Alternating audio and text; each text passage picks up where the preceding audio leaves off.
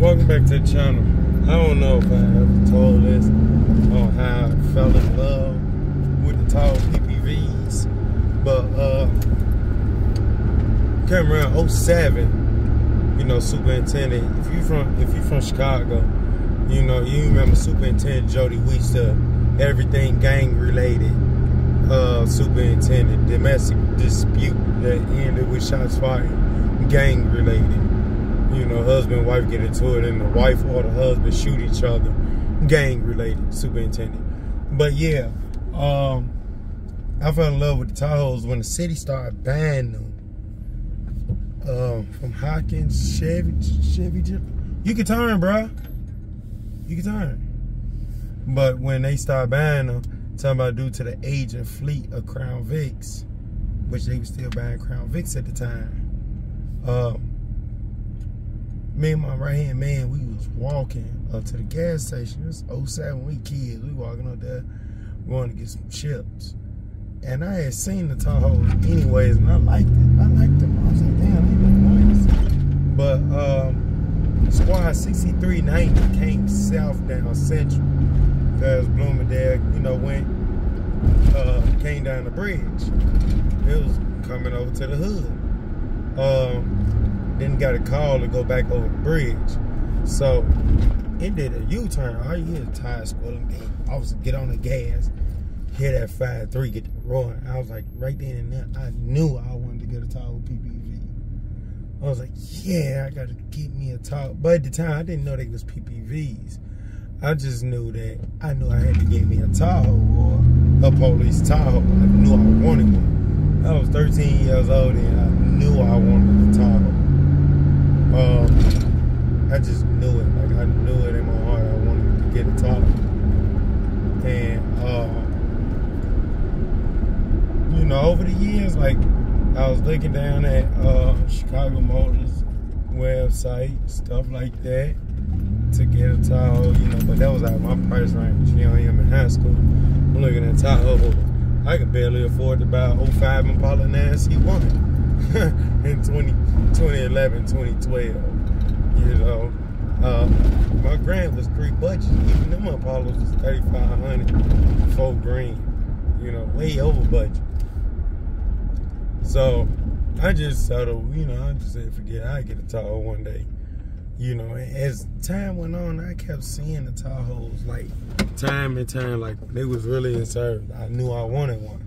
So then when I moved back to the city, in 2014, I seen the Tahoe come down Laverne, flying towards Chicago Avenue. All you hear is the motor. I'm like, damn, that sounds good. I'm like, where it's coming from though?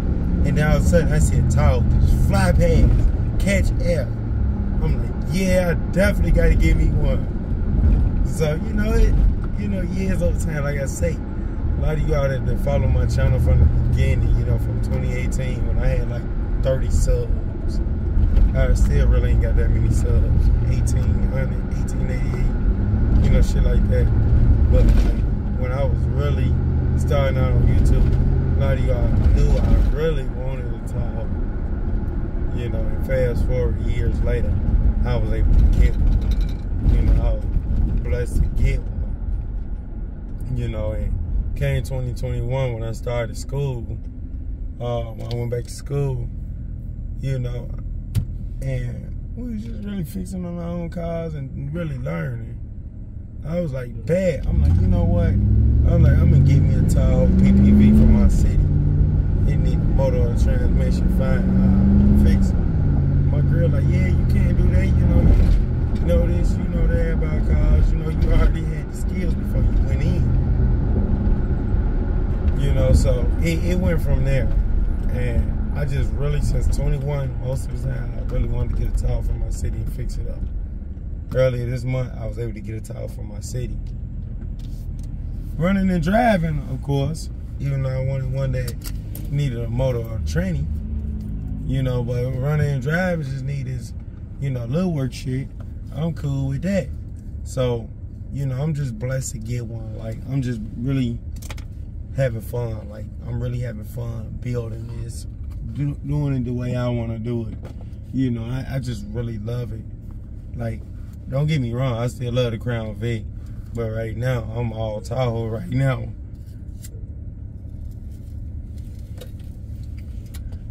I'm all Tahoe PPV. You know, I love it. A lot of people be like, oh, it's slow. Oh well, it's durable though. It's reliable. It's more reliable than the FPIUs and the FPISs.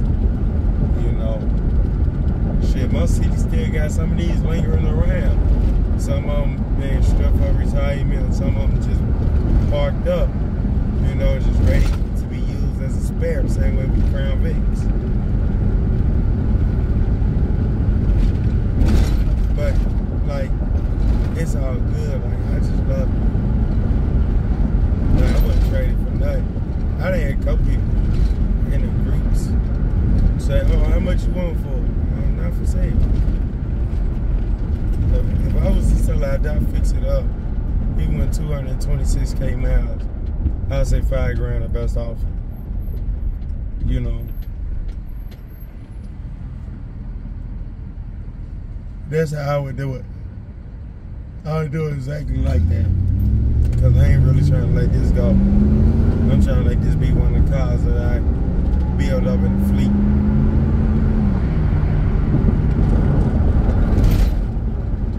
You know. I be having fun with it though.